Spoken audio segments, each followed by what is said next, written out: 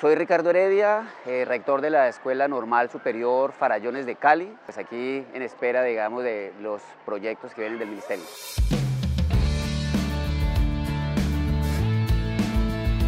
Esta es una institución que forma maestros eh, y como tal queremos desarrollar un proceso de trabajo con las tecnologías, con los medios eh, de comunicación, para que los futuros maestros tengan las habilidades que el siglo XXI está demandando. Entonces queremos desarrollar un proceso de conexión desde el preescolar hasta el programa de formación y la posterior profesionalización con la universidad.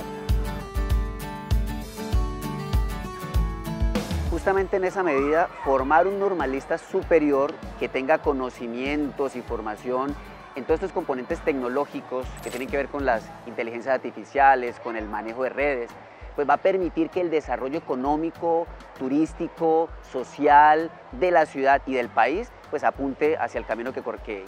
que, está visionando, digamos, el actual gobierno. Con base en eso, pues ellos van a poder trabajar mejor las áreas, trabajar con más ahínco